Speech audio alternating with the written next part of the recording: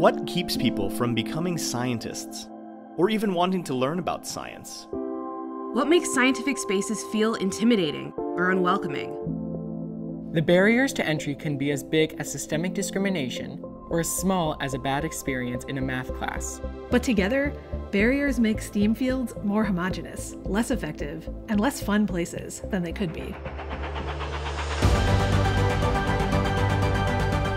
Science is better when everyone does it together. Together. Together. That's why the Adler Planetarium is working to break down the barriers that keep people out of scientific spaces.